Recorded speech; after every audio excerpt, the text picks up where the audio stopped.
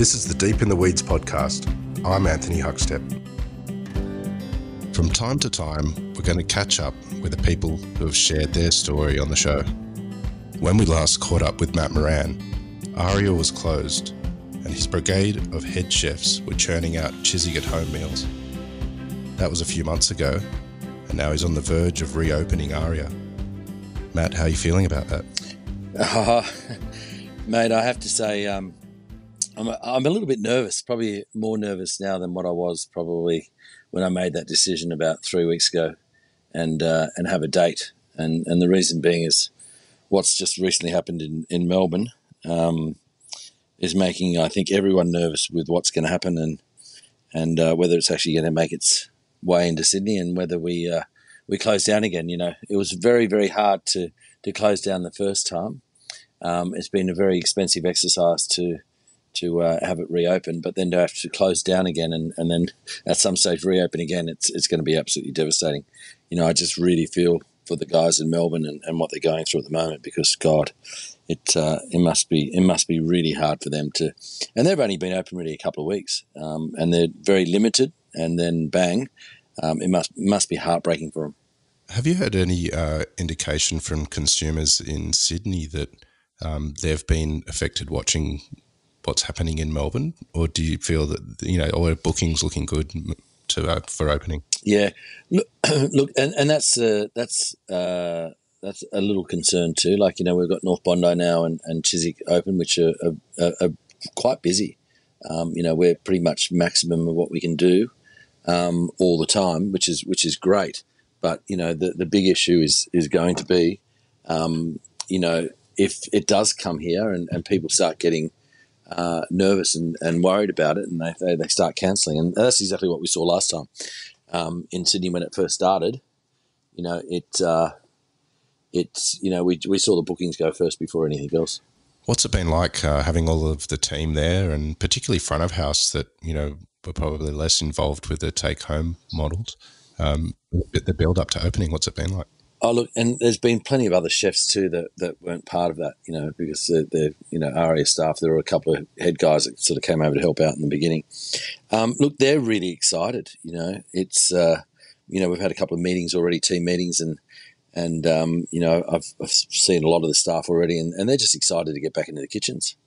Um, you know, they're they're itching to get back in. It'll it's it's like uh, it's like we've had the off season, and, and now we're starting up the brand new season again. So you know, they're, they're excited by it and they're excited to be back in work. Um, you know, I'm not sure whether they're actually contemplating what might happen if, if it, uh, you know, if the virus does come back into, into Sydney and we, we are restricted again. But yeah, it'll be absolutely devastating.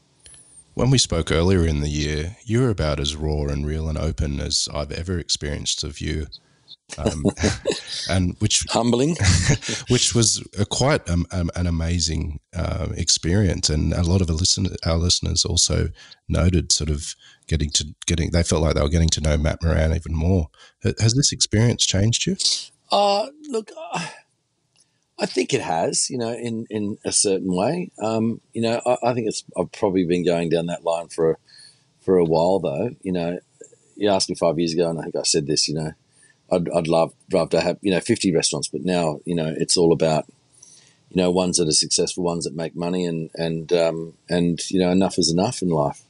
Um, you know, I think this time's given me a lot of time to really think about. Um, you know, you know, I, I, had a milestone last year. Um, you know, turning fifty, and it's like, you know, what what more do you want, and, and where do you want to be in ten years, twenty years, and, and thirty years? Um, and, you know, I suppose diversifying a little bit. You know, I've been thinking more about stuff that I can do on the farm and you know, little eco cabins and things like that. And and uh, of course, I'm never going to give up the, the, the, industry that I love the most. Um, but you know, if you ask me if I want 20 restaurants, you know, in three years' time, I'd, I'd say the ambition's not there at the moment. The ambition there is to make the ones that I've got um, you know work and, and put everyone back into into jobs and and and stabilize and um, and consolidate. And I think consolidation is is probably the, the biggest thing for us now for the next couple of years. You know, we've lost we've lost a lot, so a lot of, a lot of that is to try and make it make it back and make it back up. but you know that could be years. Do you think we're going to see a lot of that across the board, like less sort of big restaurant groups and um, more focus on the, the, ones that they already have and just making them even better? Yeah, I, I think so. And, you know, it, it's, it's a hard one. Um, Hux, because, you know, it, it's, it's like, you know, there will be lots of opportunities for people, you know, and, you know, you kind of think, right, well, the big guys might take up those opportunities. Um, and, you know, a lot of people will be gun shy. I know I am. you know, even even already, you know, people have people have already been, you know, suggesting things and asking me to do different things. And you know, there's been some things in the pipe work that I probably might still do, but you know, I'm very gun shy at the moment about opening, you know, or spending lots of money on on uh, on new venues. That's for sure, because you just don't know what's going to happen. You've been doing all sorts of really interesting things, and um, you know, like your cooking series, and um, is, is that going to continue moving forward? Yeah, it will. You know, I, I found a little little niche for myself is where, you know, I started doing. I did a, a Zoom the other day for a company for 400 people, um, and uh, yeah, I've done about I've done over a dozen of them now, um, and I started doing some work with Harris Farm, um, and uh, you know, I'm concentrating on opening Aria at the moment. That's why I haven't been doing the last few Fridays, but um, you know, I'd, I'd like to do something like that. You know, maybe every two or three months and have like a, a, theme around it and you know have some wine guys in there maybe or some you know certain suppliers or whatever and and, uh, and sort of interview them or even a YouTube um, series maybe with some some friends and and uh, and do more of that. I, I, really enjoyed that. And I, I actually I suppose uh, when I built my house 11 years ago, I, I built it to film in and I never used it. so, so now it's, it's kind of set up perfectly, you know, with that big island bench and, and the stove there, so you're looking straight at it. So maybe maybe I'll get some use out of it yet. But yeah, look, I, have been having fun doing stuff like that. You know, I've got um, I'm cooking for uh, for a guy um, coming up soon um, for his engagement party, but he, he's asking her to, to marry him on the day, and then coming back to his house, and I'm I'm there cooking cooking lunch for him. so there's been some really odd things that I'd, I'd probably never do before, but um, you know, it's uh, it's it's been fun, and I, I think that's that's something that I, I've really, you know, I've let my barrier down a little bit. I went for a motorbike ride on a weekend, two weekends ago, and um, and it, that's not. You might think it sounds strange, but it, uh, not strange, but it was a little bit because the guy that asked me to go on the bike ride, it was him and four of his mates. Never met the four guys before in my life, and he's been asking me for five years to go on a ride, and I look back and I, I, saw that was you know it's been going on for five years, and I keep saying you're not giving me enough notice. I can't do it. I can't do it. And he, he sent me a message on the Wednesday Wednesday night and says, "Do you want to come for a ride?" And I, I wrote back and I said, "Yeah, I'll come with you." And it was just like, "Really?" with a question mark.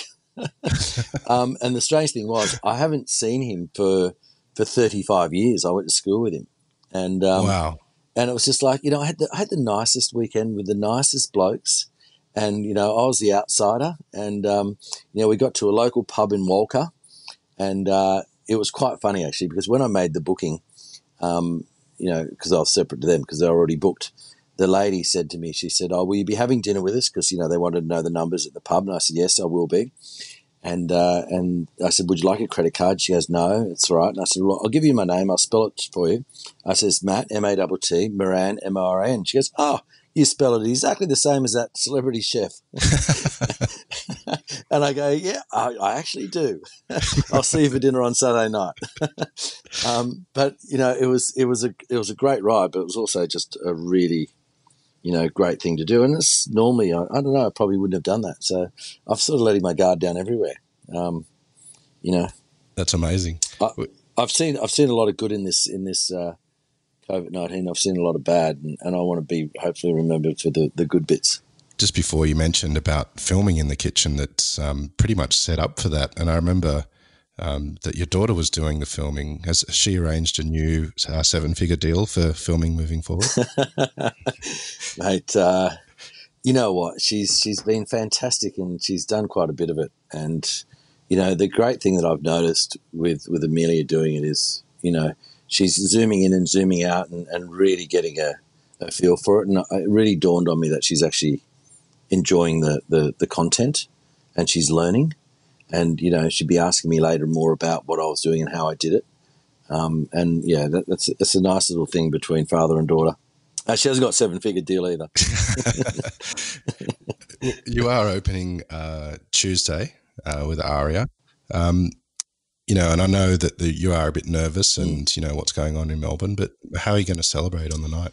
Mate, I'm um, I'm going to head into the kitchen with Joel, and uh, being the first night, and I've told Joel that uh, you know Joel being the head chef that I, I want to hang out for a while, and just get in uniform and just you know, and spend a bit of time with it with the crew. We're only opening um, Tuesday to Saturday nights, so you know normally Aria would be seven lunches, seven dinners, but you know it's a very very streamlined um, uh, you know, offering, and it's it's kind of um, it's kind of bizarre, Hux, because it's kind of pushed us more into into fine dining more than what we were because we don't have that pre theatre and that supper and that that lunch or the function facilities. You know, it's really you know it's really about the customer, and we want to concentrate on that and and give them a, a, a you know a fantastic experience that they probably haven't had for for, for many many months. So, you know, and I want to hang around and and and just help out where I can and and um, and be part of that. So I don't know whether I'll be celebrating. You know, I don't normally drink during the week, so you know maybe on the Saturday night I might might go nuts. Might go to the pub if I can get in with the team. Well, Matt, you're always good for a yarn. Um, good luck. Not that you need it Tuesday night, and um, really appreciate catching up again, and hopefully uh, see you in person soon. Absolute, absolute pleasure. Cheers, buddy. This is the Deep in the Weeds podcast. I'm Anthony Huckstep. Stay tuned as we share the stories of Australia's hospo community, suppliers, and producers in search of hope during this pandemic. Special thanks to executive producer Rob Locke for making this all happen. Follow us on Instagram at Deep in the Weeds Podcast or email us at podcast at deepintheweeds.com.au. Stay safe and be well.